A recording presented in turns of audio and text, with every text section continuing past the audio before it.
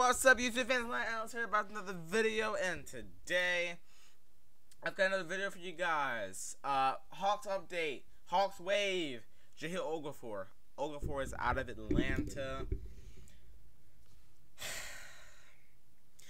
It was due to his lackluster performance uh, in the preseason. He looked awful at the open practice that I was able to uh, go to.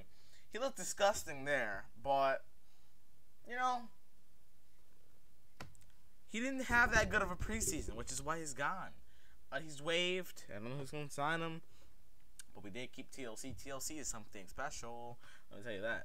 Uh, but we have some good depth. You know, we got Capela starting, uh, and we're gonna have Gorgui Dieng, uh, and then now we got uh, uh, Onyeka, who's gonna be able to get his minutes. So that that's gonna be good. Uh, and you know, I'm just really uh, I'm I'm excited to go and get the season started. Uh, it is going to be a special season, and I'll tell you this.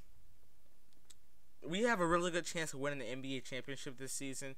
Uh, we're high competitors in the Eastern Conference, uh, and you know, with releasing Jahlil, uh, yes, I thought we were going to be able to keep him for the whole year. Maybe get rid of him at the trade deadline. But at the end of the day, Travis is going to do what's best for the team. And if that was getting rid of Jahlil, that was getting rid of Jahlil. Great guy still. Uh, still has a lot of work to do, I guess, as we can see. Uh, but, you know, uh, it's going to be exciting to see um, the Hawks. And I wonder who's going to sign Jahlil uh, in the uh, in the upcoming days or weeks here.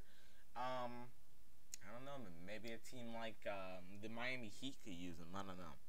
But that's going to do it for this video, guys. Short video, just letting you know. Jahlil Okafor is waived. So now we're down to a three big rotation, including our starting big. So, yeah, guys, this is going to do it for this video. And y'all have a good one.